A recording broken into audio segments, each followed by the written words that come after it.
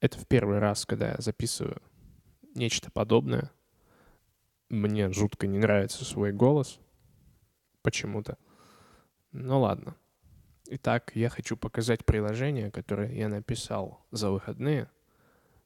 Оно мне нужно для запуска моих коротких демок. Оно написано чисто на клиенте, то есть HTML, JavaScript, серверного кода нет, но оно обладает достаточно интересными функциями, на мой взгляд. А, каждая демка, которую можно здесь запускать, она представлена набором файлов. Ну, файлы всего лишь двух типов здесь поддерживаются. Это JavaScript. Вот сейчас видим JavaScript. А, и также шейдеры на языке GLSL. Это C-подобный синтаксис. Ну, вот наш JavaScript, у него есть пара функций, которые должны быть объявлены. А, они вызываются автоматически. Как только нажимаю Go Refresh, в данном случае запустится main и начнет демку. Вот сейчас я запущу демку. А, мы видим результат действия шейдера, который вот у нас здесь из двух подпрограмм состоит. Ну и наслаждаемся. Мы можем менять коэффициенты в этом шейдере. Например, поменяем здесь. Заново нажмем Go Refresh, видим уже немножко другую картинку.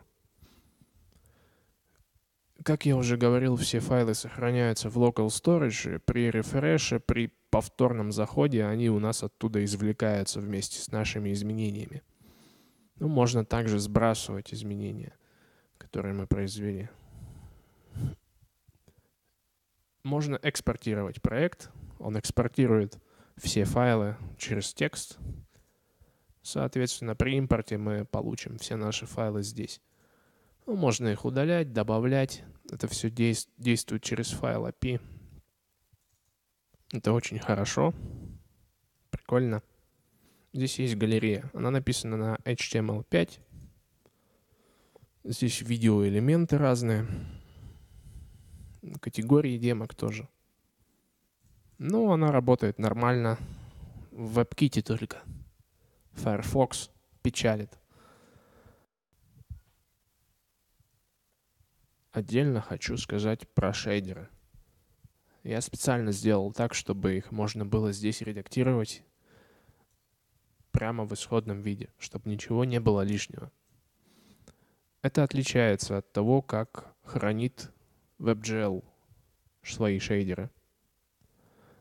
А, он их хранит внутри JavaScript в текстовом виде.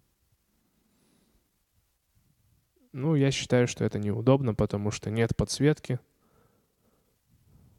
а зато здесь она есть.